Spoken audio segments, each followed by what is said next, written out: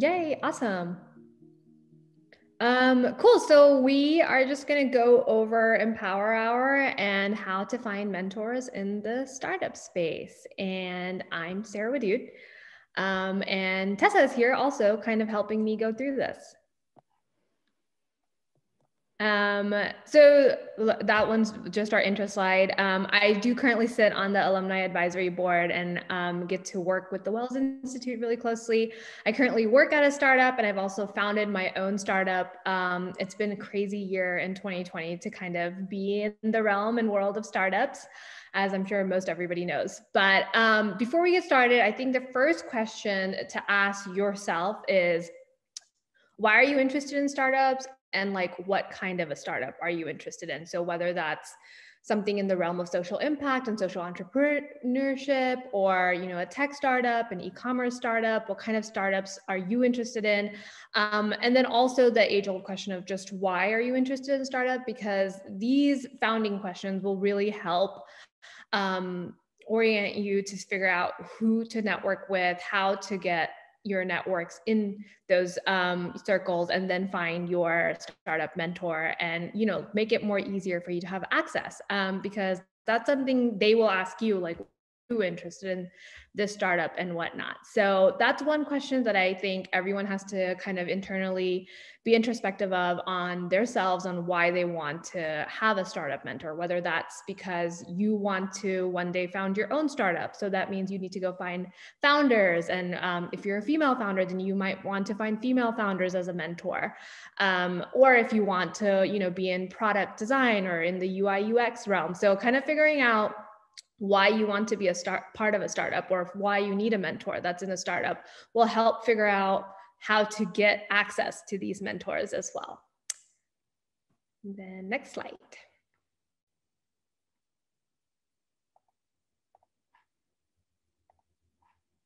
Great, next slide. Okay, perfect. Thanks, Tessa. No, no, no, sorry. Go back one more. Um, perfect. So, how do you find mentors in the startup space? So, this is something I love talking about, and um, I've definitely tried to sprinkle some COVID 19 pandemic friendly tips and advice while we go through the lecture. Um, there are top 10 things that I would recommend. Um, this is by no means an exhaustive list. Um, there are hundreds, if not tens of thousands of different ways where you can go and find a mentor in the startup space or even just get access to them. But these are just 10 of my recommendations. Um, and these are things that I have personally done to find my mentors and um, find folks that have equal, um, you know, alignment with my goals or our startup's goals. So um, I'll kind of get to share my experience, but um, this is no by no means an exhaustive list. So those are 10 of the things. We'll go through them a little bit closer so we can go to the next slide and that will help us.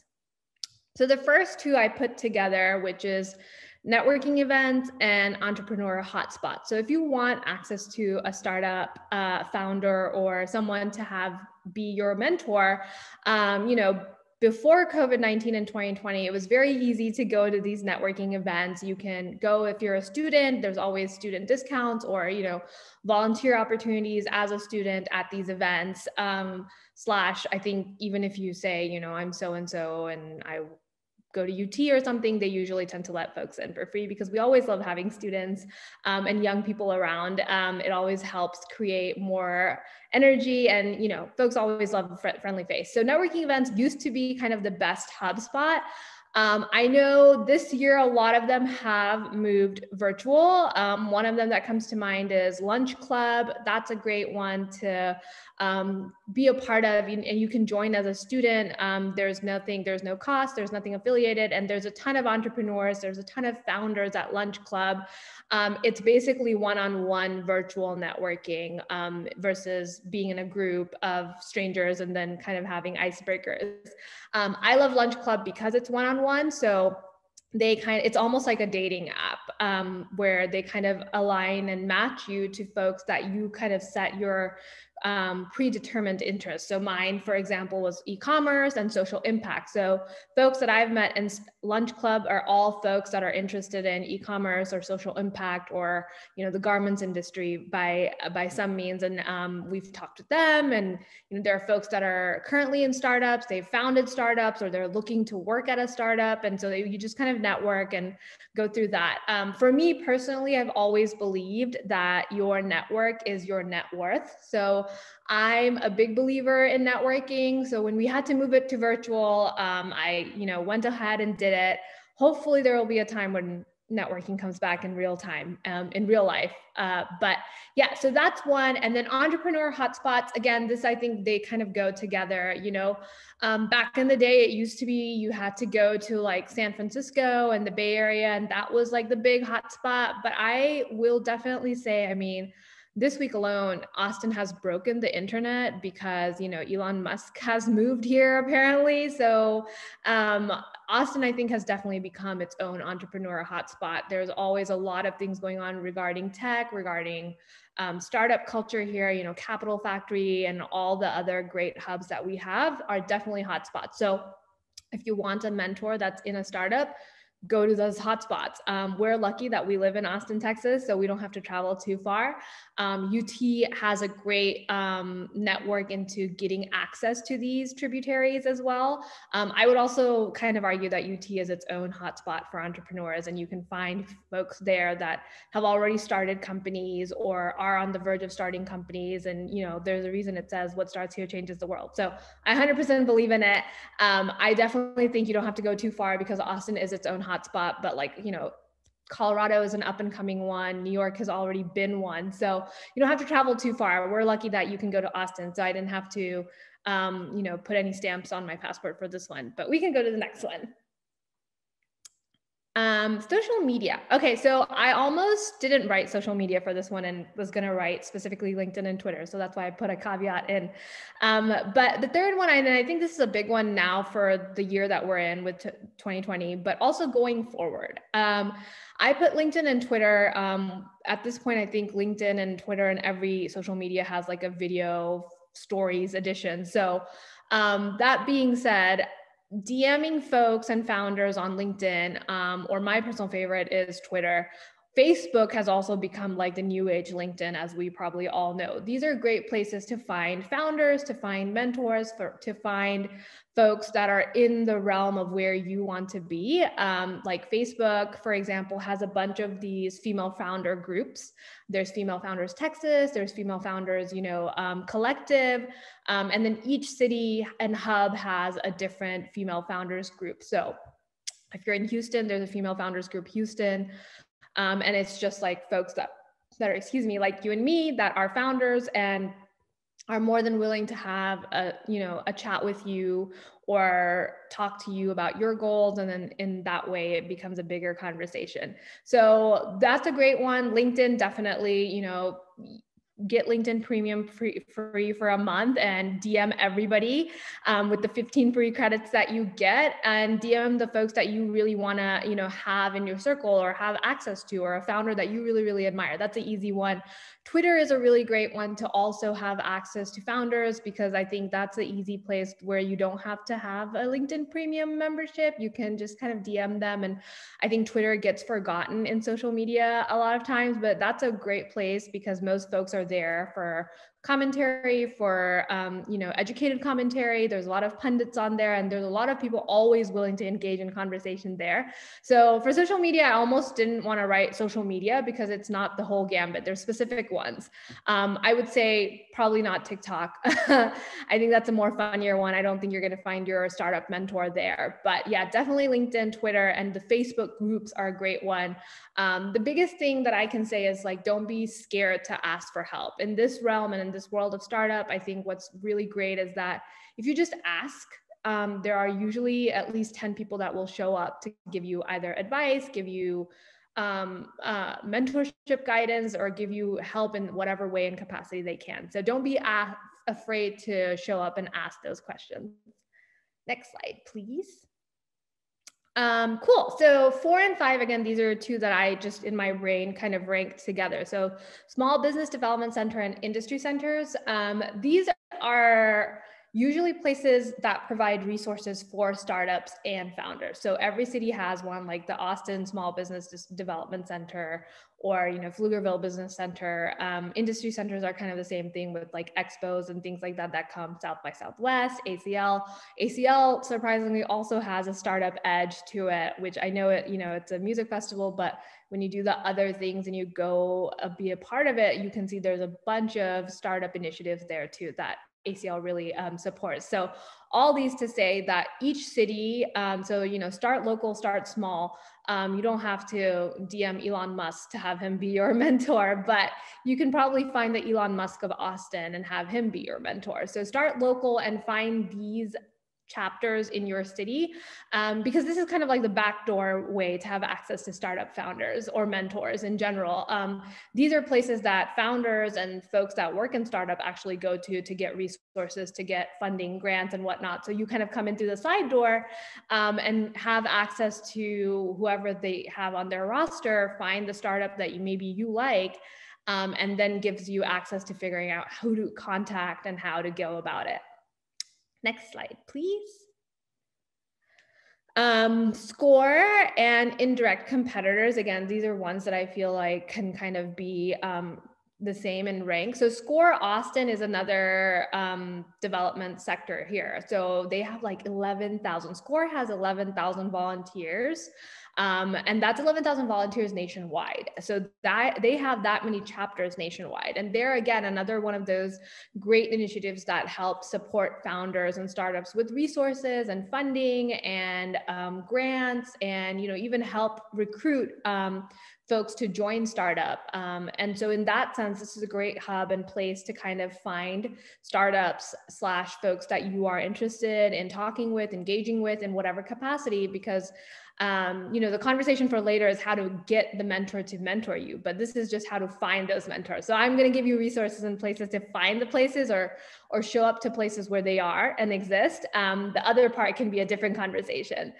Um, and then indirect competitors, that one is a bit tricky, but I think is also a relevant way to kind of figure out how to find mentors. So if you're let's say for example you want to find a mentor in bumble um, which we all know bumble is headquartered here in austin um, so if you you know at this time if bumble was still small wanted to go and have someone be a mentor from bumble you could go to tinder and you know kind of talk to some folks there have them mentor you.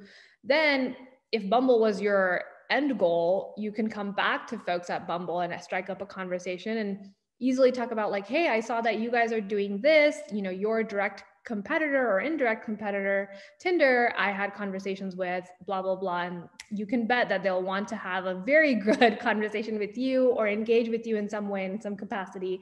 Um, you know, in, in terms of this realm, I think what's more relevant for y'all is that finding mentors usually helps land those internships, secure those summer internships, and hopefully kind of, you know, set you up for some role or some something and uh, career at, at these startups and organizations. So having a conversation with indirect competitors never seems to hurt anybody.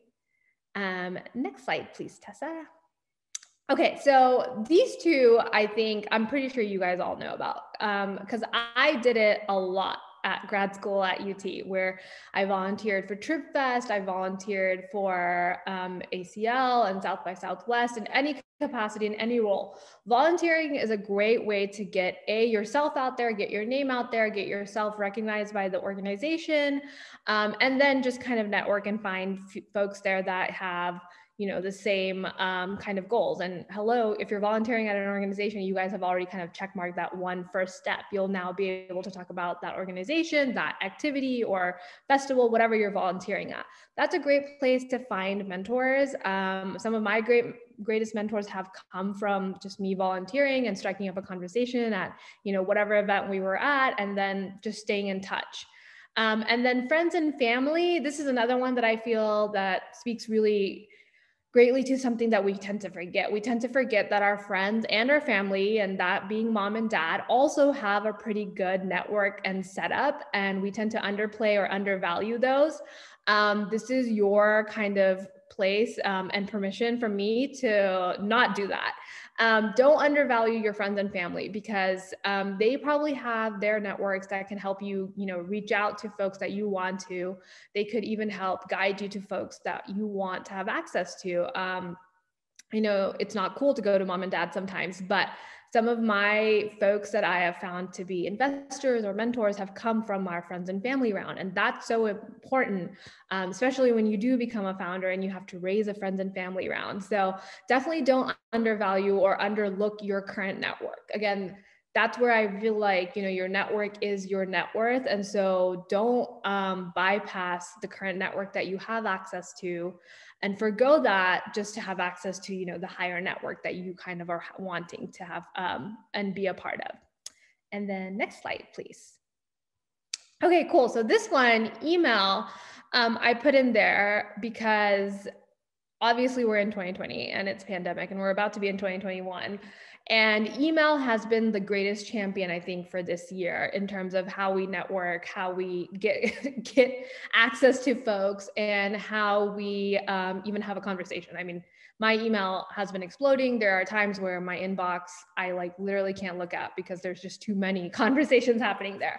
Um, this is a great place to find founders, to find the startups, to find mentors, to find you know all of that. Um, if you are a founder, then this is a little secret that I'll share with you guys. So hunter.io is um and it's not an app. It's a website you go to you type in an organization that you you know you want to you want an email for. So say i want um, whitney Herd's email. So if i typed in bumble and then whitney it will actually find her exact email and give it to you. So that's like the greatest asset as a person. So as a founder, I know I've used hunter.io to figure out okay, I need said investor's email and I need him to talk to us. So how do we find it? So this is kind of a backdoor way for you to find a startup mentor um, is to go to hunter.io, find the person that you want and have them figure out what their email is. Nine times out of 10, they have the right email.